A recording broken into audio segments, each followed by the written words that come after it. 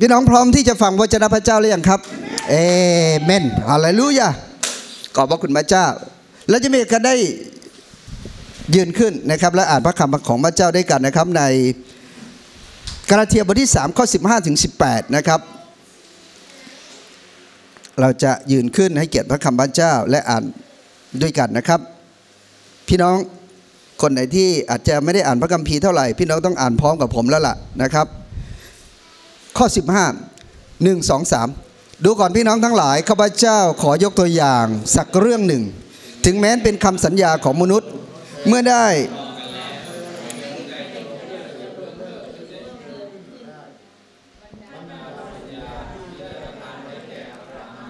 และพงพันธ์ของท่านนั้นไม่ได้ตรัสว่าและแก่พงพันธ์ทั้งหลาย เหมือนอย่างกับว่าแก่คนมากคน แต่เหมือนกับว่า แก่คนผู้เดียวคือ แก่พงพันธ์ของท่าน ซึ่งเป็นพระคริสต์ข้าพเจ้าว่า ธรรมบัญญัติซึ่งมาภายหลังถึง 430 ปี จะทำลายพันธสัญญาซึ่งพระเจ้าได้ส่งตั้งไว้เมื่อก่อนนั้นให้เป็นโมฆะไม่ได้ เพราะว่าถ้าได้รับมรดกโดยธรรมบัญญัติ ก็ไม่ใช่ได้โดยพระสัญญาอีกต่อไป แต่พระเจ้าทรงโปรดประทานมรดกนั้น ให้แก่อับราฮัมโดยพระสัญญานั้นฮาเลลูยาเราอธิษฐานด้วยกัน พระบิดาที่รักขอบพระคุณพระเจ้าสำหรับพระคำพระเจ้า ขอบพระคุณพระเจ้าที่เรามีโอกาสได้มานมัสการพระเจ้าร่วมกัน ขอบพระคุณพระเจ้าที่พระพรของพระเจ้าผ่านทางองค์พระเยซูคริสต์ไหลล้นอยู่ในชีวิตของเรา และพระองค์กำลังกระทำกิจอยู่ภายในชีวิตของเรา ขอบพระคุณพระเจ้าที่พระวิญญาณบริสุทธิ์ของพระเจ้า จะตรัส จะพูดจะเปิดเผยจะสำแดงความจริงของพระเจ้า ให้เราได้เห็นความจริงของพระเจ้า เพราะถ้อยคำความจริงของพระเจ้านั้น จะทำให้เรามีเสรีภาพ และความจริงของพระเจ้าจะปลดปล่อยเรา และความจริงของพระเจ้า จะปลดปล่อยเราจากความขัดสน ปลดปล่อยเราจากคำแช่งสาปปลดปล่อยเราจากพัฒนาการต่างๆ ขอบพระคุณพระเจ้า ที่ในพระเยซูคริสต์ ทำให้ชีวิตของเรานั้นได้เป็นลูกพระเจ้าที่ในพระเยซูคริสต์ทำให้เราเองนั้นได้เป็นคนชอบธรรม และในพระเยซูคริสต์ทำให้พระพรเกิดขึ้นผ่านชีวิตของเรามากมาย ขอพระวิญญาณบริสุทธิ์ของพระเจ้า ได้สัมผัสแตะต้องและพูดกับเราส่วนตัวในเช้าวันนี้ ขอบพระคุณพระเจ้า ในพระนามพระเยซูคริสต์เจ้าเอเมนก็เล่นเจ็ดพี่น้องนั่งครับ พี่น้องที่รักครับ ถ้าเรามีโอกาสได้ เคยทำสัญญา เราก็จะเข้าใจพระวจนะของพระเจ้าในตอนข้อที่ 15 นี้ดีผมมีโอกาสได้เกริ่นให้พี่น้องทราบไปแล้วว่า ในพระธรรมกาลาเทียนั้น เป็นพระธรรมที่อาจารย์โปโล ซึ่งเป็นผู้รับใช้ของพระเจ้านั้น ได้รับการดลใจจากพระวิญญาณบริสุทธิ์ ในการที่จะเขียนจดหมายฝากนี้ไปถึงพี่น้องกาลาเทีย เวลาที่เขียนนั้นเมื่อประมาณคศ54 และอาจารย์เปโลเองนะครับ ได้รับการดลใจจากพระวิญญาณบริสุทธิ์ในการเขียนพระธรรมเล่มนี้ เพราะว่าสถานการณ์ในตอนนั้นก็คือ พี่น้องที่กาลาเทียนั้นได้เชื่อพระเจ้า และซาบซึ้งในพระคุณของพระเจ้า แต่ต่อมานะครับมีกลุ่มคนที่มาจากยิวนะครับ ที่ยึดถือธรรมบัญญัติ แล้วก็มีโอกาสได้ไป พูดไปแบ่งปัน ว่าพระคุณของพระเจ้าและพระกิตติคุณของพระเยซูคริสต์อย่างเดียวนั้นไม่เพียงพอที่จะทำให้คนเหล่านี้ ได้รับความรอด แต่สิ่งที่ควรจะเพิ่มเติมเข้าไปคือ ต้องเข้าพิธีสุนัตต้องรักษาธรรมเนียมปฏิบัติ ต้องกลับมาสู่ธรรมบัญญัติของโมเสสพูดง่ายๆคือ ระคุณของพระเจ้าที่พระเยซูคริสต์ทำบนไม้กางเขนอย่างเดียว ที่ท่านเคยรับมานั้นเนี่ยมันไม่พอที่จะทำให้ท่านนั้นเอง ได้รับความรอด และมีชัยชนะในการดำเนินชีวิต สิ่งที่ท่านจะต้องทำคือ ต้องทำด้วยกำลังของตนเอง คือการมาประพฤติตามธรรมบัญญัติถ้าเปรียบเทียบหรือประยุกต์กับปัจจุบันของเรา มีพี่น้องมากมายหลายคนที่เชื่อพระเจ้า ฉันรอด โดยพระคุณพระเจ้าไม่มีใครปฏิเสธเลยคริสเตียนทุกคนเชื่อในตอนนี้อย่างชัดเจนแจ่มแจ้งแถลงไข ว่าทุกคนเชื่อพระเจ้า โดยพระคุณความรักของพระเจ้านั้นทำให้เรานั้นได้รับความรอด หลังจากนั้น พอได้รับพระคุณความรักของพระเจ้าแล้ว บอกว่าพระคุณของพระเจ้าเอาไว้แค่ความรอดก็พอ ส่วนการดำเนินชีวิตต่อไป ต้องอธิษฐาน ต้องอ่านพระคัมภีร์ ต้องดำเนินชีวิตที่ดีกว่านี้ ต้องเป็นอย่างนั้น ต้องเป็นอย่างนี้ ต้องรับใช้พระเจ้าหนัก ต้องเอาจริงเอาจัง ต้องอุตสาหะมากขึ้น สิ่งเหล่านี้ดีทั้งนั้นนะพี่น้อง การอธิษฐานเป็นเรื่องที่ดี และคริสเตียนเราต้องทำต่อไป กิจกรรมต่างๆ ในคริสตจักรที่ดีเราก็ต้องทำแต่แรงจูงใจนั้นไม่เหมือนเดิมแล้วครับ แรงจูงใจของเราในการอธิษฐานนั้น ไม่ใช่เพราะทำให้พระเจ้าโปรดปราน หรือเราจะได้รับความรอด แต่การอธิษฐานของเรานั้นเป็นการที่เราใช้เวลา เพราะเราเองขอพระคุณพระเจ้า พระคุณพระเจ้าที่พระเจ้าไทยเรามา เราจึงอยากจะอธิษฐาน เรายังจึงอยากจะมานมัสการพระเจ้า เราจึงอยากจะมาสามีธรรมกับพี่น้อง เราจึงอยากไปกลุ่มเซลล์เราจึงอยากประกาศ เราจึงอยากจะทำสิ่งต่างให้กับพระเจ้า ไม่ใช่เพราะว่าต้องการให้พระเจ้าพอใจ แต่เพราะว่าเราเองนั้นมาจากแรงจูงใจที่เราเองนั้นขอบคุณพระเจ้า ขอบคุณพระเจ้าที่วันนี้ได้ยืนอยู่ ขอบคุณพระเจ้าที่ได้รับใช้พระเจ้า ขอบคุณพระเจ้าที่พระคุณพระเจ้ามากจริง ๆทำให้เราได้มีวันนี้ แรงจูงใจไม่เหมือนกันครับ ถ้าเราเองนั้นมีแรงจูงใจว่าต้องทำเพื่อเราเองนั้นจะได้ความรักจากพระเจ้า ต้องทำเพื่อเราจะได้เป็นที่โปรดปราน ต้องทำเพื่อเราเองนั้น จะเป็นที่พอพระทยัยพี่น้องฟังดีๆนะครับ ผมจะย้ำอีกครั้ง เราจะกลับสู่ไปเหมือนกับชาวกาลาเทีย แล้วอาจารย์เปาโลบอกว่า ท่านช่างสติฟั่นเฟือนไปแล้ว ท่านช่างโง่เขลาไปแล้ว เพราะอะไร พระคุณของพระเจ้ามียอดเยี่ยมแล้ว ท่านยังจะกลับไปดำเนินชีวิตด้วยกำลังของท่านอีกหรือ ภาษาบ้านๆเราก็คือว่า ท่านมีเพชรอยู่แล้ว ยังจะกลับไปเอาทองหรือ ท่านมีเพชรอยู่แล้วจะไปเอาพลอยทำไม ท่านมีพระคุณของพระเจ้าที่ยิ่งใหญ่แล้วเนี่ย ยังจะไปเอากำลังของตัวเองเหรอคิดว่าตัวเองทำได้ใช่ไหม อันนี้คือสิ่งที่อาจารย์โปโลเนี่ย อาจจะใช้คำค่อนข้างรุนแรง ว่ากาลาเทียเนี่ยท่านโง่เขลาไปถึงเพียงนี้เชียวเหรือเห็นไหมพี่น้อง ฉะนั้นพอในข้อที่ 15 ในกาลาเทียบทที่ 3 นั้น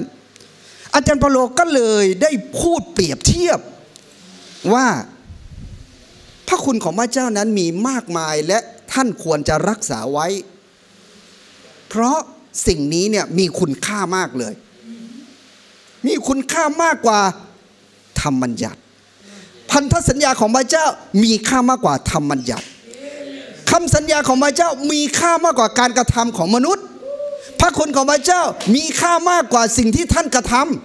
ำสิ่งที่ท่านควรจะรักษาไว้คือพระคุณพระเจ้าไม่ใช่มายึดถือตามกำลังของตนเอง เพราะกำลังของตัวเองนั้น ท่านเองนั้นไม่สามารถที่จะอยู่ภายใต้พระคุณของพระเจ้าได้ ผมบอกอีกครั้งว่า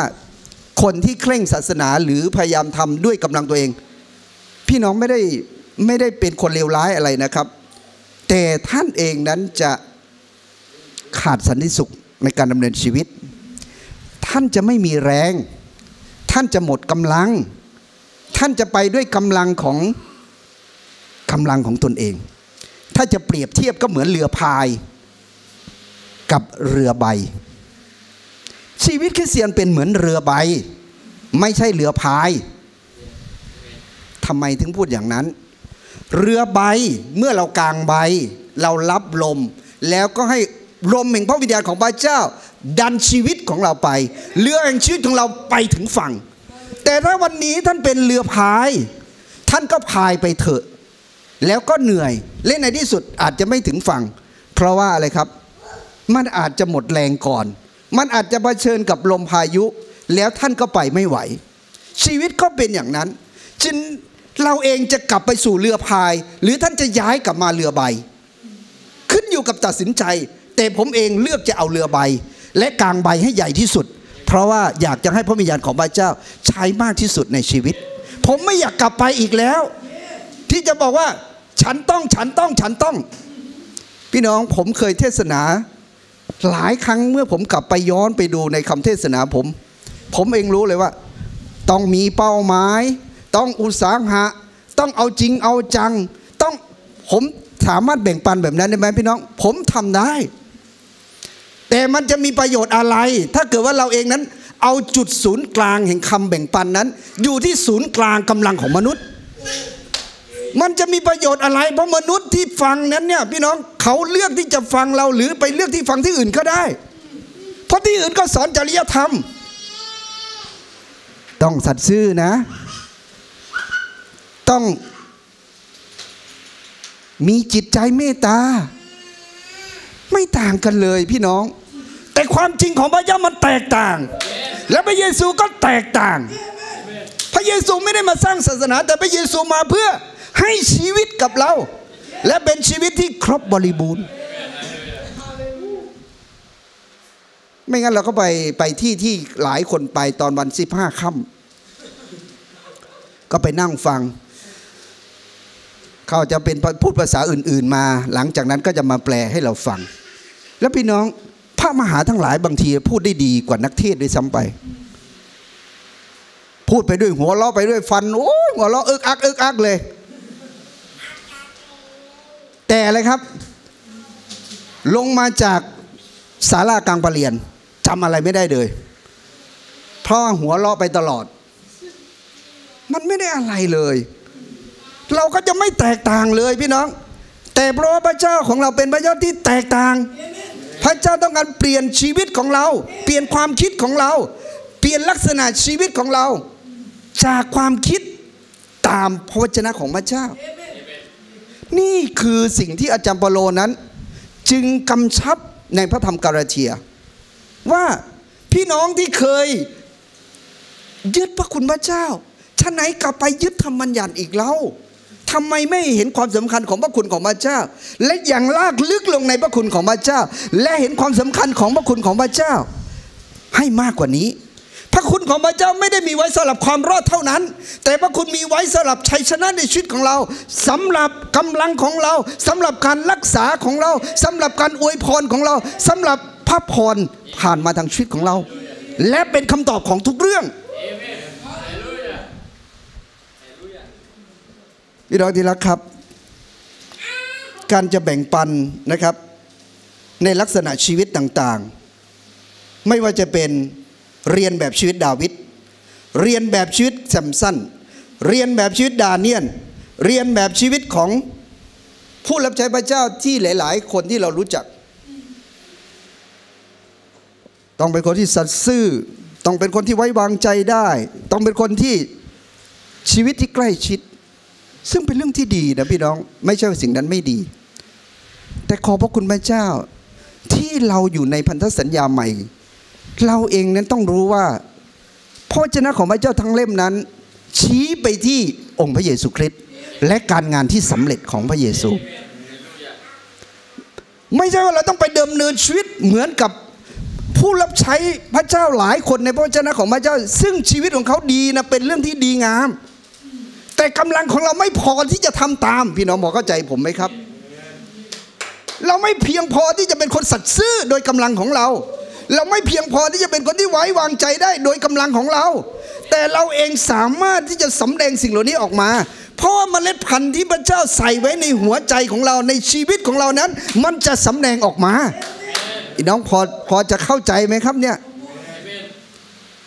ชีวิตเมล็ดพันธุ์ที่พระเจ้าใส่ไว้ในเราเนี่ยมันเต็มไปหมดแล้ว รอเวลาที่จะเก็บเกี่ยวเท่านั้น รอเวลาที่เราจะยอมจำนนในการที่จะสำแดงสิ่งเหล่านี้ออกมา แล้วพี่น้องอย่าให้มันช้าเกินไปสำแดงออกมาเป็นเป็นสิ่งที่คนเห็นพระเจ้าในชีวิตของเรามากขึ้น ผมจึงอยากจะหนุนใจพี่น้องว่า ตลอดชีวิตในการรับใช้พระเจ้า 30 ปีที่ผ่านมาเนี่ย ผมเองเคยอยู่ในการเคร่งศาสนา ฟังดีๆนะพี่น้อง ผมเองได้อยู่ในระบบที่ดียอดเยี่ยม ในวงการคริสเตียนที่ถือได้ว่าเป็นระบบที่ดีที่สุดที่เคยมีมา และผมเองก็เป็นผู้รับใช้พระเจ้าคนหนึ่ง ที่อยู่ในระบบนั้น และผมเองก็สามารถทำได้ระดับหนึ่ง จนวันหนึ่งได้เข้าใจพระคุณของพระเจ้าและความจริงของพระเจ้ามากขึ้น จึงรู้ว่าสิ่งที่จะเปลี่ยนแปลงชีวิตของคนอย่างยั่งยืนและถาวร ไม่ใช่แนวคิดของมนุษย์ ไม่ใช่ระบบ ไม่ใช่สิ่งต่างๆ แต่คือความจริงของพระเจ้า พระคุณของพระเจ้าในชีวิตของเราจริง ๆ ข้อ 15 เพราะเหตุนี้พระองค์จึงทรงเป็นผู้กลางนะครับ ในฮิบรูบทที่ 15 ก่อนจะไปตรงนั้นนะครับ พี่น้องเรามาดูข้อที่ 15 ประการที่1นะครับหัวข้อคำเทศนาหรือว่าแบ่งปันวันนี้นะครับ มรดกแห่งพันธสัญญาผ่านทางพระคริสต์ประการที่หนึ่งผลบังคับแห่งพันธสัญญา พี่น้องเคยเคยทำสัญญาใช่ไหมครับ สัญญาในการซื้อรถ สัญญาในการขายที่ดิน สัญญาในการจำนอง สัญญาในการทำงาน หลังจากที่เราอ่านในสัญญาเรียบร้อยหมดแล้วใช่ไหมครับข้าพเจ้าจุดจุดจุดจุดผู้อีกฝ่ายหนึ่งกับจุดจุดจุดอีกฝ่ายหนึ่งในฐานะเป็น ผู้อะไรก็ว่าไป หลังจากอ่านข้อความในสัญญาเสร็จแล้ว เมื่อเราเองเห็นด้วย และเราก็ลงลายมือชื่อเสร็จรับทราบ สัญญาฉบับนั้นเนี่ยจะทำเป็นสองแผ่นใช่ไหมครับ แผ่นหนึ่งเนี่ยเก็บไว้สำหรับผู้ให้สัญญา อีกแผ่นหนึ่งสำหรับผู้ที่รับสัญญา และในสัญญาเนี่ยแต่ละฝ่ายไม่สามารถจะไปเลยครับ ไม่สามารถจะไปอะไรลมเลิก หรือไม่สามารถจะไปเพิ่มเติมได้อีกแล้ว บางคนเนี่ยบอกจะเขียนศูนย์เข้าไปอีกตัวหนึ่งได้ไหมมันจะได้ดอกเบี้ยเยอะขึ้นหน่อยจากดอกเบี้ยร้อยละหนึ่งบาท ขอให้เป็นดอกเบี้ยร้อยละสิบเติมศูนย์ไปอีก มันไม่ตรงกันกับอีกใบหนึ่งมันไม่ได้ อาจารย์เปโลกำลังยกตัวอย่างบอกว่า ถ้าคำสัญญาของมนุษย์นะ ก็ยังต้องมีหลักการเหล่านี้ ไม่ว่าจะเป็นหนึ่งล้มเลิกไม่ได้สองเพิ่มเติมไปไม่ได้ ในข้อที่15 ที่พระคำของพระเจ้าบอกว่าอะไรพี่น้องดูตามไปนะ ฟังนะพี่น้อง อย่าเชื่อผมในทุกสิ่งที่ผมพูด พี่น้องต้องดูตามพระคำของพระเจ้าไปแล้วพี่น้องจะรู้ว่าสิ่งที่ผมพูดไม่ได้มาจากแนวคิดของตัวเอง แต่มาจากพระวจนะของพระเจ้า นี่เป็นความตั้งใจของผมเลยว่า ทุกครั้งที่แบ่งปันเนี่ยผมจะแบ่งปันความจริงของพระเจ้า และชีวิตที่เหลืออยู่เนี่ย จะแบ่งปันพระคำพระเจ้าในความจริงของพระเจ้า ไม่ใช่ว่าที่ผ่านมาไม่ใช่ความจริงนะครับ ก็ความจริงแต่เป็นความตั้งใจมากขึ้นว่า จะแบ่งปันความจริงของพระเจ้าข้าพเจ้าขอยกตัวอย่างสักเรื่องหนึ่ง ถึงแม้นเป็นคำสัญญาของมนุษย์เมื่อได้รับรองกันแล้ว ไม่มีผู้ใดจะล้มเลิกหรือเพิ่มเติมขึ้นอีกได้ ผลบังคับแห่งพันธสัญญานั้น มันไม่สามารถจะเลิกได้ หรือมันไม่สามารถที่จะ เพิ่มเติมเข้าไปได้ อาจารย์เปโลกำลังสื่อเรื่องอะไรครับ อาจารย์เปโลกำลังจะบอกว่าคำสัญญาหรือพันธสัญญาที่พระเจ้าให้ไว้กับอับราฮัมนั้น เป็นคำสัญญาที่มีมาก่อนธรรมบัญญัติธรรมบัญญัตินั้นเกิดหลังจากที่อิสราเอลนั้นตกเป็นทาส 430 ปี โมเสสพาออกมาจากประเทศอียิปต์มาอยู่ในถิ่นทุรกันดารแล้วโมเสสก็ขึ้นไปที่ภูเขาซีนาย และพระเจ้าเองได้ประทานบัญญัติสิบประการให้กับเขาพี่น้องคิดตามไปนะครับ แต่อับราฮัมนั้นอยู่ก่อนที่ชนชาติอิสราเอลจะเกิด และสิ่งที่พระเจ้าได้พูดกับอับราฮัมนั้นคืออะไรครับ พระเจ้าจะอวยพร พงพันธ์ของอับราฮัม พระองค์จะประทานแผ่นดินคณาอันให้กับเขา และพระคำของพระเจ้าในตอนนี้นั้นได้พูดพงศ์พันธุ์นะภาษาอังกฤษใช้คำว่า seed seed ก็คืออะไรครับเมล็ดพันธุ์ seed คำว่าพงศ์พันธุ์มากคนเนี่ย seed เนี่ยเติม S แต่คำว่า seed ในตอนนี้เนี่ยนะครับที่หมายถึงองค์พระคริสต์เนี่ยไม่มีตัว Sกำลังบอกว่า ความหมายบอกที่พระเจ้าบอกว่า เราจะอวยพรพงพันธ์ของเจ้า ไม่ได้หมายว่าอวยพรคนมากมาย แต่กำลังบอกว่า พงพันธ์ของอับราฮัมคือองค์พระเยซูคริสต์ที่เป็นองค์เดียว แล้วองค์พระเยซูคริสต์เป็นผู้ที่ส่งผ่านพระพรหรือ มรดก หรือส่งผ่านพระพรของอับราฮัมนั้นมาสู่ชีวิตของเราทุกคน เมื่อเราเชื่อพระเยซูคริสต์เรากลายเป็นทายาททายาทก็จะต้องรับมรดก แล้วมรดกมาจากไหน มรดกมาจากองค์พระเยซูคริสต์และพันธสัญญาที่พระเจ้าให้กับอับราฮัม มาดูในฮิบรูบทที่9ข้อ 15 17 เรามาดูด้วยกัน พี่น้องดูตามไปนะ อ่านด้วยกันครับ1 2 3เพราะเหตุนี้ พระองค์จะทรงเป็นผู้กลาง พี่น้องไม่อ่านตามผมเลยอะอะหนึ่งสองสามเพราะเหตุนี้ พระองค์จึงทรงเป็นผู้กลางแห่งพันธสัญญาใหม่ เพื่อให้คนทั้งหลายที่พระองค์ทรงเรียกมาได้รับมรดกนิรันดร์หยุดตรงนี้ก่อน เพื่อให้คนทั้งหลายที่พระองค์ทรงอะไรครับ แล้วใครครับ เราไง พี่น้องพูดสิครับ เราข้าพเจ้านี่แหละ ได้รับอะไรครับ มรดกแบบไหน ทรัพย์สินเงินทอง แผ่นดิน บ้านรถบ้านก็ชั่วคราว ดินก็ชั่วคราว ร่างกายของเราก็ชั่วคราว แต่พระเยซูให้มรดกนิรันดร์กับเราเลย ได้รับมรดกนิรันดร์ตามอะไรครับ พระสัญญาเอเมน พระสัญญาเนี่ยจึงมาก่อนธรรมบัญญัติ พระสัญญามาจากไหน มาจากที่พระเจ้าประทานให้กับอับราฮัม และผ่านมาทางพงศ์พันธุ์คือพระเยซูคริสต์และพระเยซูคริสต์เมื่อเราเองมาเชื่อพระเยซูคริสต์เราจึงรับพระพรนั้นผ่านทางองค์พระเยซูคริสต์อะไรรู้ยะพี่น้องอ่านต่อไปครับ ตามพระสัญญาเพราะการอะไรครับพรีชีพพรีชีวิตเนี่ยหมายถึง พรีชีวิตหมายถึงตาย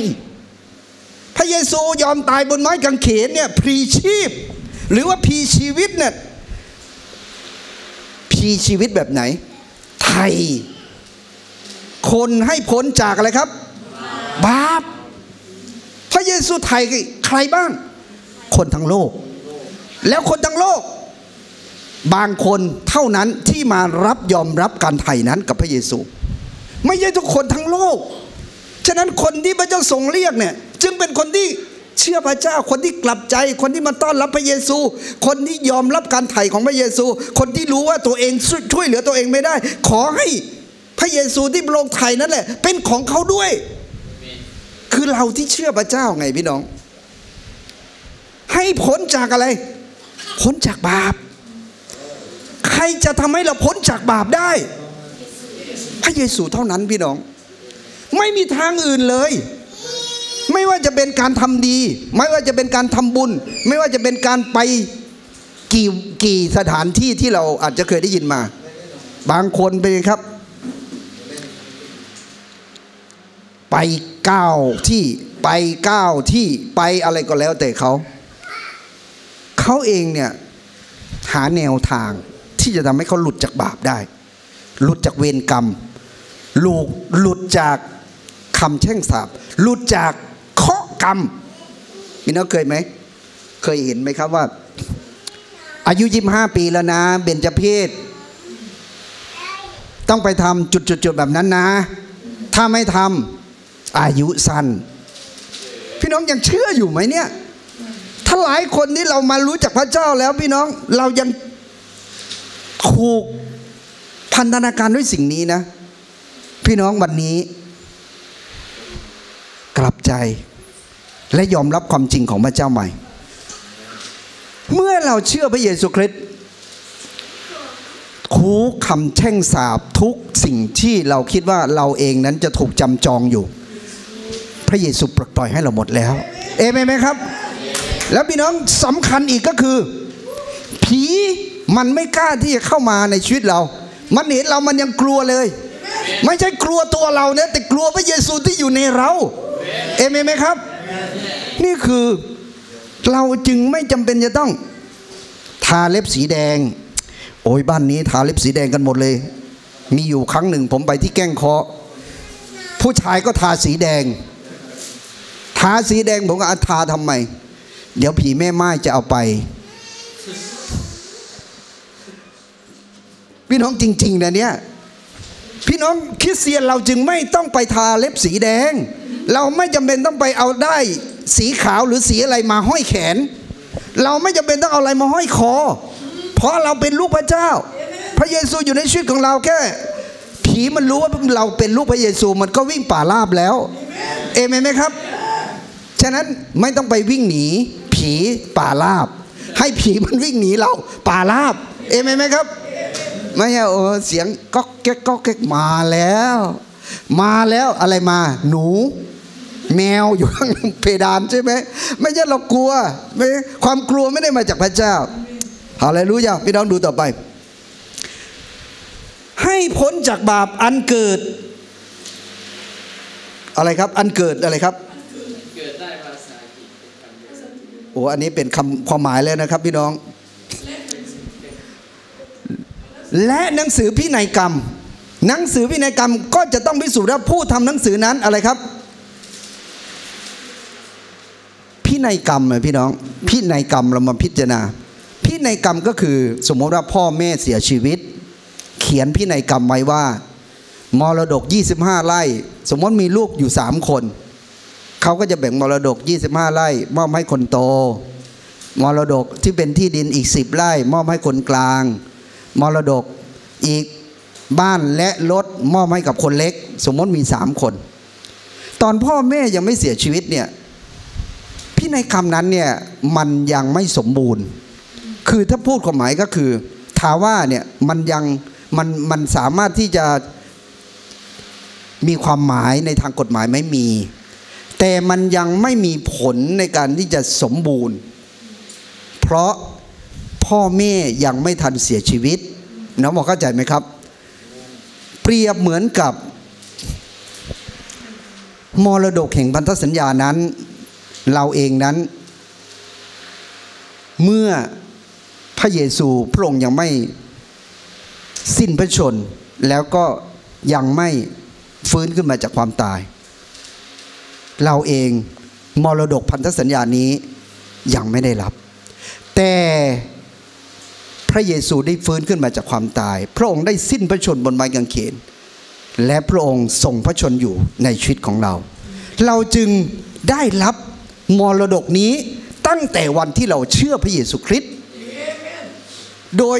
เปรียบเทียบพินัยกรรมนี้บอกว่า พินัยกรรมนั้นจะสมบูรณ์ก็ต่อเมื่ออะไรครับ คนที่ทำไว้นั้นได้เสียชีวิตแล้ว ข้อ 17 คนนั้นต้องตายเสียก่อน หนังสือพินัยกรรมจึงจะใช้ได้ แต่ถ้าผู้ทำยังมีชีวิตอยู่ พินัยกรรมนั้นก็ยังใช้ไม่ได้พี่น้องดูตามไปนะครับ นี่ก็คือเป็นคำที่ทำให้เราเองนั้น ได้เข้าใจมากขึ้นว่าคำสัญญาของพระเจ้านั้น เมื่อพระเยซูมาไถ่บาปเรา และพระองค์ถูกฝังและพระองค์ฟื้นขึ้นมาจากความตาย เมื่อผู้ใดก็ตามที่เชื่อในพระองค์คำสัญญานั้นจึงสามารถสมบูรณ์ได้ทันที และเราได้แล้วมนพี่น้องที่รัก อยากจะบอกความจริงกับพี่น้อง สิ่งที่พระเยซูทำนั้นสำเร็จเรียบร้อยแล้ว วันนี้ความจริงที่เกิดขึ้นก็คือ เราเองได้ทุกสิ่งแล้วหมดแล้ว แต่กายภาพของเราเราอาจจะยังไม่เห็น เพราะอะไรครับ เพราะความเชื่อที่เรามีต่อความจริงนั้นๆเนี่ยมันยังไม่ได้ เรายังไม่ได้เชื่อเต็มที่ ยกตัวอย่างเช่น เราถูกสอนหรือเราเข้าใจเรื่องการถวาย แต่มีบางคนเท่านั้นที่สามารถเห็นพระพรผ่านการถวาย เพราะเขายินดีที่จะถวายมีน้องฟังดีๆนะครับ มีบางคนได้ถูกอบรมเรื่องการประกาศ มากมาย แต่จะมีบางคนเท่านั้นที่ตอบสนองต่อการอบรมในการประกาศแล้วเข้าลงมือทำแล้วเห็นคนเชื่อพระเจ้า พี่น้องพอเข้าใจนะครับ ความจริงของพระเจ้าก็เช่นเดียวกัน ความจริงของพระเจ้าตอนนี้เราได้รับการไถ่หมดแล้ว ชีวิตฝ่ายจิตวิญญาณของเราได้รับความสมบูรณ์เรียบร้อยแล้ว แต่สิ่งที่มันเกิดขึ้นก็คือ ทำไมบางคนจึงเข้าใจความจริงของพระเจ้า และความจริงของพระเจ้าจึงเกิดเป็นผลเป็นพรในชีวิตของเขามากมาย จนกลายเป็นพรต่อผู้อื่น แต่สำหรับบางคนมันทำไมยังไม่เกิดขึ้นเลย มันไม่ใช่ว่ามันไม่เกิดขึ้น มันเป็นเหมือนยังเป็นเมล็ดพันธุ์ที่อยู่ในชีวิต แต่ความเชื่อของเรานั้นจะต้องเข้าไปเก็บเกี่ยวเอาเมล็ดพันธุ์นั้นออกมาให้ได้ ในความจริงนั้นฉะนั้นชีวิตของแต่ละคนจึง ขึ้นอยู่กับความเชื่อของเราที่เข้าไปเก็บเกี่ยวเอาความจริงของพระเจ้า ที่พระเจ้าใส่เมล็ดพันธุ์นั้นไว้พี่น้องพอเข้าใจไหมครับ ข้อ 17 ข้าพเจ้าว่าธรรมบัญญัติซึ่งมาภายหลังถึง 430 ปี จะทำลายพันธสัญญา ซึ่งพระเจ้าได้ทรงตั้งไว้ เมื่อก่อนนั้นให้เป็นโมฆะไม่ได้คำว่าโมฆะก็คือศูนย์เปล่าล้มเลิก ไม่มีความหมายกำลังพระคัมภีร์ข้อนี้กำลังบอกว่าธรรมบัญญัติเนี่ยมันเกิดที่หลังนะนะครับ ประการที่สองของมรดกแห่งพันธสัญญาก็คือ ความด้อยกว่าของธรรมบัญญัติเมื่อเทียบกับพันธสัญญาของพระเจ้าที่มีกับอับราฮัมธรรมบัญญัติหมายถึงอะไรธรรมบัญญัติหมายถึงข้อกฎเกณฑ์ต่างๆของสิบประการ และก็สิ่งที่ชาวยิวจะต้องปฏิบัติตัวในพระธรรมเลวีนิติ และก็มีข้ออีกมากมายธรรมบัญญัตินั้นเกิดมาภายหลัง 430 ปี จะทำลายพันธสัญญาซึ่งพระเจ้าได้ทรงตั้งไว้เมื่อก่อนนั้น ให้เป็นโมฆะไม่ได้ หมายความว่าคำสัญญาที่พระเจ้าได้ให้ไว้กับอาอับราฮัมในปฐมกาลบทที่ 12 ข้อ 3 ข้อ 7 พี่น้องมาอ่านด้วยกันปฐมกาลบทที่ 12 ข้อ 3 ว่าอย่างไงบ้าง เจอหรือยังครับ เราจะอะไรครับ เราจะอำนวยพร แก่คนที่อวยพรเจ้า เราจะสาบคนที่แช่งเจ้านี่น้องหยุดตรงนี้ก่อน พระเจ้าสัญญาบอกว่า พระเจ้าจะเป็นผู้ที่อวยพร แก่คนที่อวยพรเจ้า แก่คนที่อวยพรเจ้า คนที่อวยพรอับราฮัม ในฝ่ายกายภาพ ก็จะได้รับพระพรผ่านจากพระเจ้าด้วยเช่นเดียวกัน นี่คือกายภาพ แต่ในความหมายฝ่ายวิญญาณ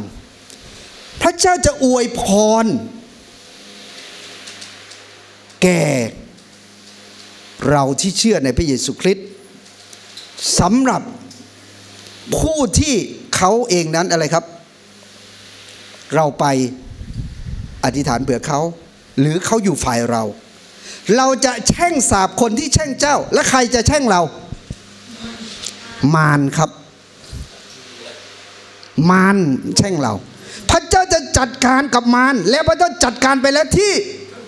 กางเขนตอนนี้มารไม่ได้มีฤทธิ์เดชอะไร พี่น้องไม่โอ้โหเอาแล้วบังไฟพญานาคขึ้นมาแล้ว โอ้ยแห่กันไปดูเต็มริมโขงเลย ปรากฏว่าเดี๋ยมีรายการสารคดีหนึ่งนะครับ ก็ไปทำรายงานนี้บอกว่าเป็นอะไรครับตำรวจตำรวจลาวใช่ไหมยิงยิงปืนขึ้นมาหรืออะไรก็แล้วแต่ หรือแม้อาจมันจะเกิดขึ้นโดยธรรมชาติก็แล้วแต่ แต่สิ่งเหล่านี้นะครับ ไม่ได้เป็นเหตุทำให้เราเองนั้นไขว้เขวในความเชื่อ เพราะไม่มีอำนาจใดใหญ่กว่าอำนาจของพระเจ้า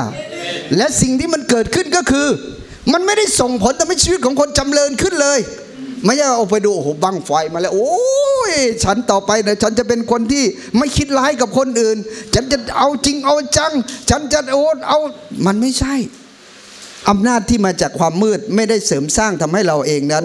ไปสู่ความเจริญในชีวิต แต่อำนาจความมืดจะทำให้เราตกต่ำลง หลายอย่างเลยพี่น้องไม่ว่าจะเป็นยาเสพติด ไม่ว่าจะเป็นการพนัน และไม่ว่าจะเป็นไม่อยากพูดเลยนะเพราะพี่น้องบางผู้ปกครองของเราบางคนก็ทำอาชีพนี้สิ่งเหล่านี้มันก็ทำให้คนเป็นไงครับ อยากจะดำเนินชีวิตตามโชคลาภโชคชะตา ถ้าวันนี้โชคดี โอ้ก็ได้สิ่งดีไป ถ้าวันนี้โชคไม่ดี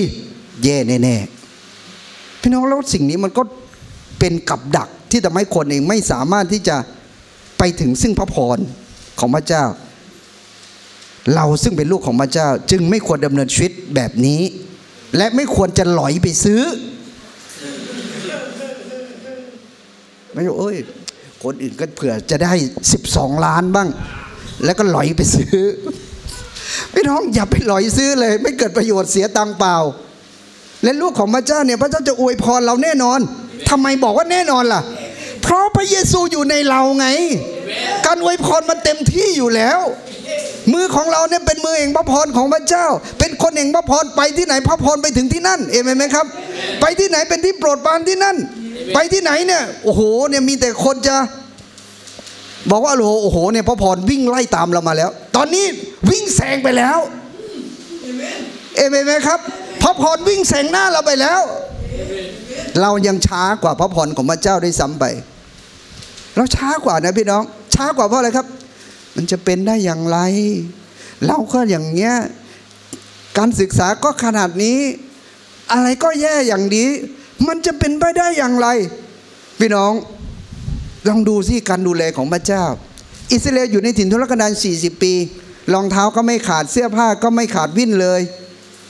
อาหารพระเจ้าดูแลอย่างดี เมนไม่มีโลตัสและบิ๊กซีและ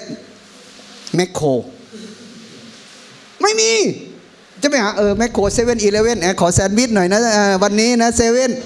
ขอแซนด์วิชหน่อยครับแซนด์วิชแซนด์วิชยี่ห้าบาทขอหน่อยนะแซนด์วิชมันไม่มีที่ถิ่นทุรกันดารมันมีเซเว่นอีเลเว่นที่ไหน มันไม่มี แต่มีเซเว่นบนฟ้าสวรรค์ไง เอเมนไหมครับ มาทันเวลา ยิ่งกว่าแก๊ปส่งอาหารสินค้าอีก ทุกเช้ามาเลยครับ มานาที่มาจากสวรรค์ อยากน้ำพระเจ้าประทานให้ อยากกินเนื้อ พระเจ้าประทานให้จนกินออกจมูกเลย ชอบดีนักใช่ไหมกินออกมาจากจมูกเลยเพราะอะไรเพราะอิสราเอลเป็นคนที่ โอ้เราจะไปว่าเขาเลยเพราะจริง ๆ เราก็เป็นเหมือนอย่างนั้นเหมือนกันใช่ไหมบางทีเรา เราแบบว่าขาดความวางใจพระเจ้า เราไม่ได้ตระหนักในความจริงนี้ว่า เราเป็นตัวตนใหม่ของเรา ที่พระเจ้าให้เรียบร้อยแล้วสองโครินธ์บทที่5ข้อ17เนี่ยผมมักจะย้ำข้อนี้แล้วพี่น้องเองอาจจะได้ยินหลายครั้งเลยบอกว่าเหตุฉะนั้นผู้ใดที่อยู่ในพระคริสต์ผู้นั้นก็เป็นคนที่ถูกสร้างใหม่แล้ว ในภาษาไวยากรณ์ตอนนี้เนี่ยมันไม่ใช่เป็นอะไรครับ มันเป็นอดีตไปแล้วคือ เป็นอดีตและปัจจุบันนี้พระเจ้าเองสร้างเราใหม่หมดแล้วเมนเสร็จเรียบร้อย ไม่ใช่โอ้ไองานศิลปะชิ้นนี้ โอ้ยังไม่มีขี้แมงวันเลยเอามาขี้แมงวันแต้มอีกสักนิดหนึ่งดีไหมไม่ใช่ พระเจ้าทำเสร็จสมบูรณ์ masterpiece เรียบร้อยเมนคำว่า masterpiece คืออะไร ชีวิตของเราในฝ่ายจิตวิญญาณเอเมนไหมครับ ไม่อย่างนั้นเนี่ยพี่น้องผมถามจริงๆ พี่น้องมั่นใจเหรือจะรอด ถ้าพระองค์ไม่ทำให้เสร็จพี่น้องยังไงก็ไม่รอด แต่วันนี้เนี่ยจิตวิญญาณของท่านรอดแน่นอน ต่อให้ท่านเองนั้นจะยังอยู่แบบนี้นะ แต่รอด แต่พระเจ้าน้ำพระทัยพระเจ้าและวัตถุประสงค์ของพระเจ้าไม่ต้องการให้เราดำเนินชีวิตอยู่แบบนี้ เพื่อเราจะรับพระพรเพื่อเราจะมีชัยชนะที่ดึงเอามาจากสิ่งที่พระเจ้าใส่ไว้ เพื่อเราจะเป็นคนที่เกิดผลเพื่อเราจะเป็นคนรุ่งเรือง เพื่อเราจะเป็นคนที่เป็นพรต่อคนอื่น เพื่อเราจะสามารถรู้ว่า พระเจ้าเยียวยารักษาสุขภาพของเราหายดีเอเมนไหมครับ ไม่ว่าเราจะเป็นตกเลือด ไม่ว่าเราจะเป็นโรคภัยไข้เจ็บใดๆพี่น้อง ไม่ต้องมีโรคประจำตัวอีกแล้ว พี่น้องอยากจะมาให้มันมาประจำตัวอยู่ทำไม เอาแค่ทูตสวรรค์ประจำตัวก็พอ ไม่ต้องเอาโรคมาประจำตัว เอเมนไหมครับหลายคนบอกโอ้ยเนี่ยมันโรคประจำตัว อายุห้าสิบจะต้องเป็นวัยทอง ผมไม่เอาวัยทอง ผมจะเอาวัยเพชรอะไรรู้ ผมไม่เอาไวทองไวทองมันจะต้องมีอืมเอ่ออ่าอันนู้นอันนี้อะไรตามไอสิ่งที่หมอพูดนะคุณคนไข้เอาไวทองจะมีอาการแบบนี้นะโอ้โหเขาก็เจตนาดีอะนะแต่ถ้าเราเป็นลูกพระเจ้าพี่น้องเราต้องบอกเลยว่า ไม่เอาไอ้ทองอะเพราะอะไรครับ เพราะพระเจ้าจะเปลี่ยนให้เราเป็นคนที่อยู่เหนือ ธรรมชาติ และชีวิตคริสเตียนเป็นชีวิตที่เหนือธรรมชาติเห็นไหมครับ ถ้าพี่น้องดำเนินชีวิตตามธรรมชาติแสดงพี่น้องยังไม่เข้าใจความจริงเลยเพราะชีวิตของเรานี่ดำเนินด้วยความเชื่อ ไม่ใช่ตามความรู้สึก และไม่ใช่ตามความคิดเห็นส่วนตัว แต่เป็นตามความจริงของพระเจ้า และตามสิ่งที่พระเจ้านำเราคือพระวิญญาณบริสุทธิ์ในชีวิตของเรา จะกอกลับไหมครับเนี่ย พระธรรมการบทที่12ข้อ3เราจะอำนวยพระพรแก่ผู้ที่อวยพรเจ้า เราจะสาบคนที่แช่งเจ้า บรรดาเผ่าพันธุ์ทั่วโลกจะได้รับพรเพราะเจ้า พี่น้องผมเชื่อว่าตอนนั้นเนี่ยอับราฮัมเนี่ยยังไม่เข้าใจเลยไอ้พงพันธุ์ทั่วโลก อะไรพงพันธุ์ทั่วโลก อิสอักก็ยังไม่เกิดเลยนะนี่ แต่อับราฮัมเชื่อพระเจ้าไงเขายังไม่เห็นเลย ข้อที่เจ็ด พระเจ้าทรงสำแดงพระองค์ให้ปรากฏแก่อับราฮัมตรัสว่าพี่น้องดูดีดีนะประเด็นนี้ ดินแดนนี้เราจะยกให้พงพันธุ์ของเจ้า ขีดอีกเส้นใต้ ดินแดนนี้เราจะยกให้พงพันธุ์ของเจ้า ความหมายในกายภาพ ดินแดนนี้ก็เป็นดินแดนที่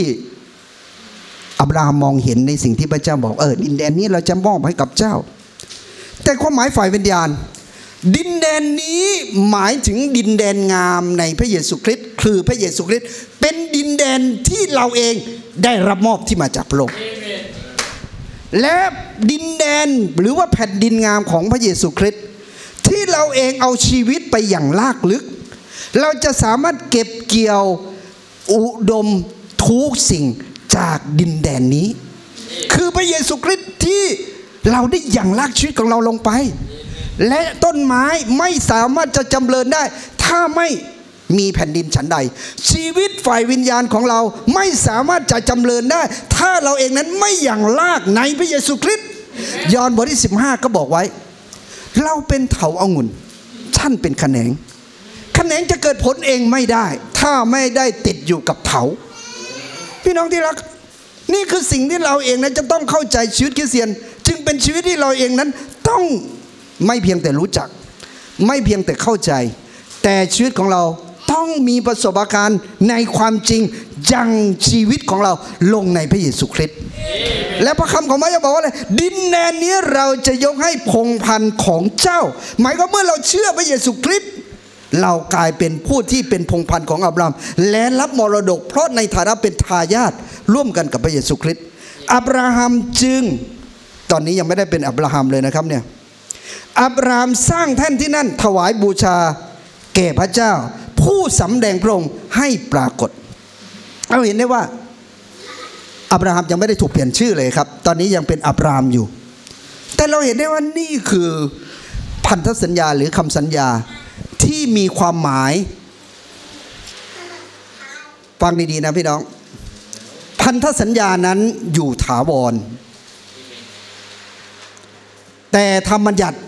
เป็นสิ่งชั่วคราว และหมดอายุไปแล้ว แต่พันธสัญญาที่พระเจ้าให้อยู่ต่อไปชั่วนิรันดร์และเราเองนั้นอยู่ในพันธสัญญาใหม่ขององค์พระเยซูคริสต์ด้วย พันธสัญญานี้จึงเป็นพันธสัญญาถาวรนิรันดร์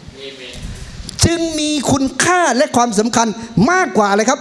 ธรรมบัญญัติ ระธรรมบัญญัติเองมีไว้เพียงชั่วคราว และทุกครั้งที่เราอ่านพระเจ้าพระเจ้าไม่ว่าจะเป็นพระคัมภีร์เดิมหรือพระคัมภีร์ใหม่ พี่น้องศูนย์กลางของเราต้องให้พระเยซูเป็นศูนย์กลาง ในการศึกษาพระเจ้าพระเจ้า ถ้าเราเองนั้นยังกลับไปดำเนินชีวิตตามสิ่งที่เราคิดว่าเราควรจะดำเนินชีวิตตามพันธสัญญาเดิม โดยเอากำลังของเราไปปฏิบัติตามธรรมบัญญัตินั้น พี่น้องก็รู้ว่ามันเป็นสิ่งชั่วคราว และไม่มีอิสราเอลคนไหนทำได้สักคนเลย มีพระเยซูเท่านั้นที่พระองค์นั้นมาเพื่อจะอะไรครับทำให้ธรรมบัญญัตินั้น ครบถ้วนสมบูรณ์ พระเยซูบอกว่าเราไม่ได้มาเพื่อล้มเลิกธรรมบัญญัติ แต่เรามาเพื่อจะได้ธรรมบัญญัตินั้น ครบถ้วนสมบูรณ์ฮาเลลูยาและเมื่อพระเยซูทำสมบูรณ์แล้วเนี่ยเราจะไปทำอีกทำไม เพราะเราทำยังไงมันก็ทำไม่ได้ ก็ไปเอาจากสิ่งที่พระเยซูทำครบถ้วนสมบูรณ์นั้น เป็นของเราเลย และพระองค์ก็ทรงอยู่ในเราเรียบร้อยแล้ว จะกลับไปทำบัญญัติอีกทำไม นี่คืออาจารย์เปาโลก็เลยติงหรือตำหนิชาวกาลาเทีย และพี่น้องผมไม่อยากพี่น้องเป็นกาลาเทียในศตวรรษที่ 21 พี่น้องฟังไม่ผิดครับ ผมไม่อยากให้พี่น้องเองเนี่ยดำเนินชีวิตเหมือนชาวกาลาเทียในสมัยนั้น แต่ให้เราเองนั้นเข้าใจพระคุณของพระเจ้า และดำเนินชีวิตที่อยู่ในพระคุณของพระเจ้า อย่าไปกลับไปที่ธรรมบัญญัติ แต่เราเองนั้นอย่างลากลึกและเห็นความสำคัญพระคุณของพระเจ้า และยึดเอาพระเยซูคริสต์เป็นศูนย์กลางในชีวิตของเรา ไม่ใช่เอาตัวเองเป็นศูนย์กลาง ถ้าพี่น้องกำลังทำด้วยกำลัง พี่น้องเอากำลังตัวเองเป็นศูนย์กลาง เราคิดว่าเราทำได้ เราประสบความสำเร็จ และเราพลาวในกำลังของตัวเอง เราพลาวในสติปัญญา เราพลาวในความคิดของเรา เราคิดว่าเราเจ๋งเว้ยเราทำได้ นี่พระเจ้าจึงอวยพรเรา ไม่ใช่นะพี่น้องไม่ใช่ ถ้าใช่อาจารย์เปโลคงไม่พูดแบบนี้ในพระธรรมกาลาเทีย แต่อาจารย์เปโลก็บอกว่า การเพิกเฉยพระคุณพระเจ้านั้น ไม่ได้หมายว่าเราทำบาป แต่การเพิกเฉยพระคุณพระเจ้าคือ เรากลับไปสู่ธรรมบัญญัติอีกครั้งหนึ่งโครินธ์บทที่ 12 ข้อ 12 ถึงกายนั้นเป็นกายเดียว ก็ยังมีอวัยวะหลายส่วน และอวัยวะเหล่านั้นแม้จะมีหลายส่วน ก็ยังเป็นกายเดียวกันฉันใด พระคริสต์ก็ทรงเป็นฉันนั้นกำลังสื่อความหมายเรื่องอะไรครับกำลังสื่อความหมายว่า พระคริสต์เป็นศูนย์กลาง เราทุกคนเนี่ยเป็นอวัยวะ แต่อวัยวะนี้ก็เป็นกายเดียวของพระคริสต์แล้วถ้าเกิดสมมติว่าวันนี้ รถถังจิตเมืองนนท์พี่น้องรู้จักไหม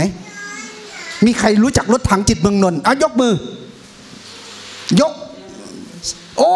พี่น้องรู้จัก ผมก็รู้จัก เพราะผมก็ดูมวย บางครั้งนะพี่น้รถถังจิตเมืองนนท์สมมุติรถถังจิตเมืองนนท์ขึ้นชกไป ชนะเทนชิน สมมุติกำลังจะต่อยกันอยู่ สมมุติรถถังขึ้นชกกับเทนชิน คนญี่ปุ่น เขาชกไปชกชกชกไป แล้วเขาชนะ ปรากฏว่า หัวของรถถังบอกว่า เนี่ยชนะแล้ว แต่กายบอกว่า สมมติสมมติว่าแยกส่วนกันนะครับ กายของรถถังบอกว่า ฉันแพ้ ฉันแพ้ฉันสู้ไม่ได้ไม่ได้สู้เลย ฉันแพ้แล้ว แต่รถถังหัวบอกว่า ชนะกายบอกแพ้แล้วแพ้แพ้ยังไงก็แพ้ มันใช่ไหมล่ะ หัวชนะ กายก็ต้องชนะด้วยไงฮาเลลูยา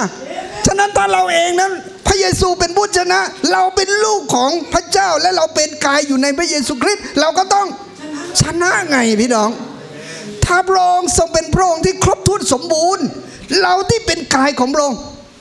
ยังไม่สมบูรณ์ เราเป็นคนบาปอยู่ คนบาปมีน้องจะคนบาปไปไหนอีกล่ะ ก็พระเยซูไถ่เราแล้วอะเอเมน จริงอยู่เราอยู่ในร่างกายในโลกนี้ที่เป็นความบาคนบาปเอ้ยโลกแห่งความบาปใช่ แต่ในจิตวิญญาณของเราเนี่ย พระองค์ไถ่เราเรียบร้อยแล้ว เอเมนไหมครับ ไม่บอกเออพี่น้องก็อย่าไม่ต้องอะไรมากนะ เราก็เชื่อพระเจ้านะ แต่เราก็ยังเป็นคนบาปอยู่ใช่ไหมไม่ใช่ เราเป็นคนชอบทำแล้วในพระเยซู เอเมนไหมครับขอบคุณพระเจ้า ที่ผมพูดอย่างนี้เพราะว่ามีมีมีพี่น้อง คริเสียนบางท่านบางคนเขามีแนวคิดแบบเนี้ยพี่น้อง คือเขาเขายังไม่เข้าใจตัวตนใหม่ในพระเยซูในชีวิตของเรา เราต้องเข้าใจตัวตนใหม่ในวันนี้ และเมื่อไหร่ก็ตามที่เราเข้าใจตัวตนใหม่ของเรานะ พี่น้องชีวิตของเรานั้น โอ้โหจะแฮปปี้เลยอะผมขอนำเรื่องวันวรรณคดีเก่าๆมาเล่าให้พี่น้องฟังอาจจะไม่ได้เข้าใจประเด็นที่มัน ครบถ้วนสมบูรณ์ทั้งหมด แต่ว่าขอยกตัวอย่างมานิดหนึ่งพี่น้องเคยเรียนในเรื่องของสังทองไหมพี่น้องเคยเรียนเรื่องวรรณคดีสังทองไหมสังทองพี่น้อง สังทอง สังทองที่เขาไปชุบที่บ่อทองคำแล้ว หลังจากชุบโอ้โหตัวเป็นทองคำ เขาไม่อยากให้ใครเห็นว่าตัวเขาเป็นทองคำเขาก็เลยใส่ชุดอะไรครับ ชุดง้อป่า ปากแดงๆ ผมหยิกหยิกตัวดำดำค้ำค้ำวิ่งตามดอกไม้สีแดง แต่ปรากฏหลังจากที่สังทองเจอรจนาสังทองก็เลยอธิษฐานว่า อันนี้เป็นวันในคดีนะผมก็ไม่ได้เห็นด้วยทั้งหมดนะ แต่ผมกำลังมาเปรียบเทียบพี่น้องฟัง ก็เลยอธิษฐานบอกว่า ขอให้สาวเจ้าที่อยู่ตรงหน้า มองเห็นกายยาที่แท้จริงของข้าพเจ้ารจนาก็เลยไปกันพอมองปั๊บโอ้ยเสียงพวงมาลัยไปเลย นี่คือ สังทองพราะข้างในนั้นเอาเหลืองอลามงามแท้แลตะลึง ตึงตึงว่าแลตะลึง โอ้ยเอาอะไรเบียงพวงมาลัยไปพี่น้องกลับมาเรื่องของเรา เราเองตัวตนแท้เนี่ยเป็นสังทอง เข้าใจไหม พระเยซูเปลี่ยนเรามาเนี่ยเป็นสังทองหมดแล้วแม้นมันอาจจะผมอาจจะเปรียบเทียบไม่ได้ดีทั้งหมดนะพี่น้อง แต่ผมกำลังจะบอกพี่น้องบอกว่า ตัวตนใหม่ในพระเยซูท่านครบถ้วนสมบูรณ์เรียบร้อยแล้ว แต่ตอนนี้เนี่ยที่มันยังเป็นงอผ่าอยู่อะข้างนอกอะเพราะอะไร เพราะความจริงในพระเจ้าที่เราเข้าใจเนี่ย มันไม่เหมือนกัน บางคนเข้าใจแต่ไม่ได้เอามาดำเนินชีวิต เข้าใจความจริงของพระเจ้า แต่ชีวิตมันยังไม่เปลี่ยนตามความจริง เรื่องอะไร เรื่องการที่เราเองนั้น ไม่ว่าจะเป็นเรื่องที่อยู่ในพระวจนะของพระเจ้า เรื่องการรับใช้เรื่องบทบาทสามีที่ดีเราควรจะเป็นยังไง ภรรยาที่ดีควรจะเป็นยังไง บทบาทการทำงานที่ดีเราควรจะทำอย่างไร พระเจ้าก็สอนไว้ในพระวจนะของพระเจ้า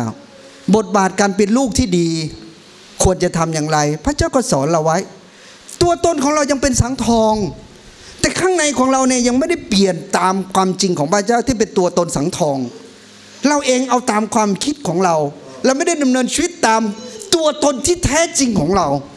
ที่พระเจ้าได้เปลี่ยนเรียบร้อยแล้ว ความคิดของเรายังไม่เปลี่ยน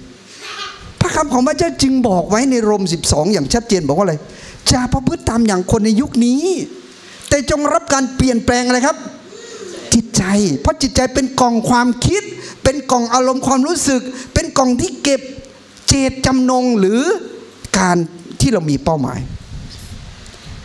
ถ้าเราเองนั้นอยากจะให้สังทองออกมาเป็นกายภาพที่แท้จริงของเรา ตลอดเวลาโดยที่เราไม่ต้องสวมเงาะเลยพี่น้อง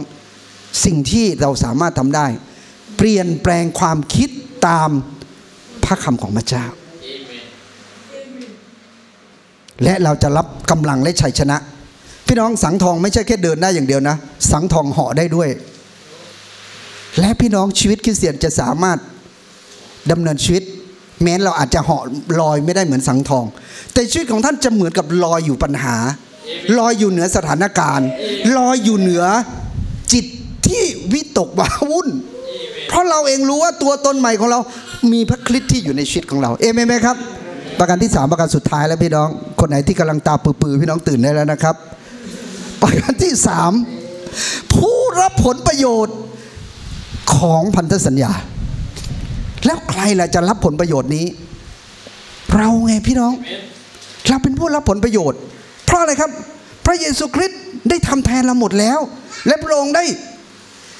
พื้นขึ้นมาจากความตาย และพระองค์ตอนนี้ประทับในเบื้องขวาของพระบิดา เราปักเป็นทายาทที่รับมรดกของพระองค์ เหมือนผมเคยเปรียบเทียบพี่น้อง เวลาพี่น้องเดินไปที่ถนนเนี่ยพี่น้องเดินไปสมมติอ้าวไปหน้าธนาคาร แล้วไม่มีใครเลย ปริบทในสภาพแวดล้อมตอนนั้นไม่มีใครเลยนะครับ แล้วพี่น้องก็เดินผ่านธนาคารมาปรากฏว่าเดินมาที่ฟุตบาทของพัฒนาชัยยนต์ แล้วพี่น้องก็เห็นแบงค์พันนะก็เดินมาอีกหน่อย แบงค์ห้าร้อยเลี้ยวขวาไปเจอแบงค์ยี่สิบเลี้ยวซ้ายมาเจอแบงค์อีกแบงค์ห้าสิบบาท พี่น้องจะทำไงครับ มีใครที่จะเก็บมาแล้วเอาไปแจ้งตำรวจอาจจะมีก็ได้นะ พี่น้องจะเก็บแบงค์อะไรอาใครแบงค์พันยกมือ ยกมือยกมือ ใครจะเก็บแบงค์ร้อยไม่มีเลยเหรอเอาแบงค์พันอย่างเดียว เอาหมดเลยขอบคุณพระเจ้าโอ้เยี่ยม ถ้าเป็นผมผมก็เอาหมด ขอให้มีเหรียญห้าบาทอีกสักเหรียญยังเก็บเลยเหรียญบาทก็ยังเก็บเลย พี่น้องจะบอกเฮ้ยเอาแต่แบงค์พันทำไมอะก็แบงค์ห้าร้อยก็มีแบงค์ห้าสิบก็มีแบงค์ยี่สิบก็มียังมีเหรียญห้าบาทและเหรียญบาทอีก เก็บหมดเลยผมกำลังบอกว่ามรดกที่พระเจ้าให้กับเรามันมีเยอะแยะมากมาย รับเอาทั้งหมดเลยเอเมนไหมครับ ไม่ต้องเอาบางส่วน พี่น้องถ้าพระวิญญาณบริสุทธิ์ที่เราอธิษฐานภาษาแปลกๆเองเนี่ยมันทำให้เรามีกำลังขึ้น อธิษฐานมาตลอดเวลาเลยฮาเลลูยาเอเมนไหมครับบอกโอ้ไม่เอาหรอกเนี่ยไม่เราเราพูดไม่รู้เรื่องเลย พี่น้องบางคนก็เป็นนะ แต่ผมเนี่ยเอาหมดเลยเอเมนอธิษฐานภาษาแปลกๆก็เยอะที่สุดเลยพี่น้องเพราะอะไรเรารับกำลังที่มาจากพระเจ้า ไม่ใช่จะอธิษฐานทีหนึ่งโอ้โห สนิมโอ้โหงัดกว่าจะได้มันไม่ได้สักทีเลย งัดเอาต้องเงินต้องเอาอะไรเหล็กงัดมางัดเลยเอาแฉลงมางัดอันนี้แสดงว่าเราไม่ได้ใช้เลยพี่น้องแสดงว่าเราไม่เห็นความสำคัญมรดกของพระเจ้า ที่พระเจ้าประทานให้กับเราเลย หรือการรักษาโรคที่พระเจ้าประทานให้กับเรา แล้วบอกโอ้ยการรักษาโรค มันไม่ได้เกิดในสมัยเราแล้วนู่นสมัยพระเยซู สมัยสาวกรุ่นแรกนู่น มันไม่เกิดขึ้นมาแล้ว พี่น้องหลายคนคริสเตียนเนี่ยบางคนเป็นอย่างนี้อีก ยังไม่เอาเลย จะกินยายานี่ดีที่สุด กินไปกินมาพี่น้องไซเอฟเฟกตาเหลือง หน้าเหลืองก็มี ผมไม่ได้ว่ายาไม่ดีนะครับ ยาก็เป็นสิ่งที่ดี แต่สิ่งที่ดีที่สุดก็คือ ความเชื่อที่เรามีต่อการเยียวยารักษาของพระเยซูคริสต์เอเมนไหมครับ เราต้องมีความเชื่อพระคัมภีร์พูดเรื่องอะไรพี่น้องเชื่อเรื่องนั้นเลยสองครินธ์บทที่สามข้อเจ็ดข้อสุดท้าย ยังไม่สุดท้ายพี่น้องลองสุดท้าย แต่ถ้าการปฏิบัติที่ประหารให้ตายคือตายต่อตัวอักษร ที่จารึกไว้ที่แผ่นศิลานั้น ยังมาด้วยรัศมี แม้ว่าจะเป็นรัศมีจางหายไปแล้ว ก็ยังทำให้พวกอิสราเอลดูหน้าของโมเสสไม่ได้ นี่กำลังจะบอกว่าอะไรครับ พระพรของพระเจ้าหรือสง่าราศีที่ผ่านมาทางธรรมบัญญัตินั้นอาจจะมีบางบางอย่างที่ดูเหมือนดีนะ แต่มันก็ชั่วคราวแค่นั้นเอง ข้อต่อไป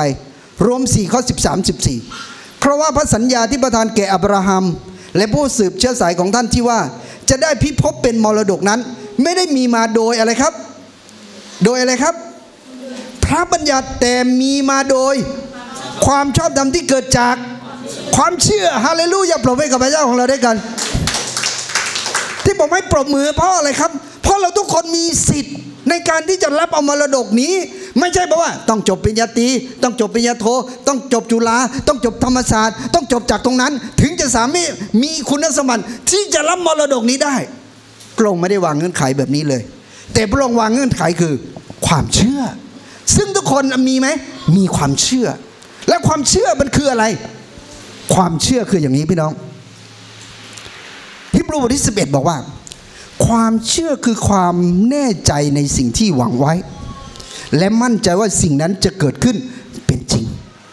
ความเชื่อก็เหมือนกับหญิงโลหิตตก 12 ปีที่เขาเองนั้น คิดว่า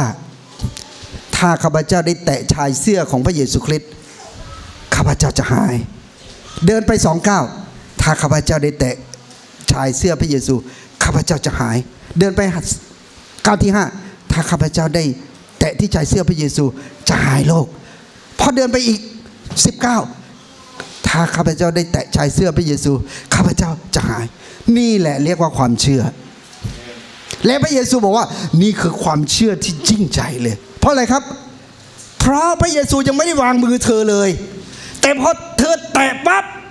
ฤทธิ์อำนาจในการรักษาของพระเยซูคริสต์ได้ไหลซ่านเข้ามาในชีวิตของเธอ ไม่ใช่เพราะพระเยซูเองนั้น วางมือบอกว่าลูกหญิงเอ๋ยจงหายเถิดไม่ใช่ เธอหายก่อนที่พระเยซูจะเหลียวมาบอกว่าหญิงเอ๋ยให้เป็นไปตามความเชื่อของเจ้าเถอะพระเยซูเรียกสิ่งที่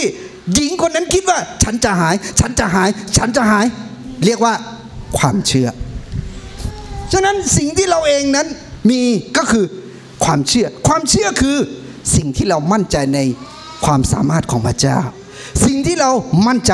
ในพระเยซูที่อยู่ในเรา สิ่งที่เรามั่นใจในการเลี้ยงดูของพระเจ้า สิ่งที่เรามั่นใจพระองค์ทรงรักษาเราหายแล้วด้วยรอยแผลเคี้ยนของพระเยซูคริสต์คือสิ่งที่เรารู้ว่าพระองค์อวยพรเราแล้ว คือสิ่งที่เรารู้ว่าพระเจ้าพระเมตตาสำหรับชีวิตของเรา คือสิ่งที่เรารู้ว่าพระพรกำลังวิ่ง แซงชีวิตของเราเอเมนไหมครับ ให้เราอธิษฐานกับพระเจ้าด้วยกันฮาเลลูยา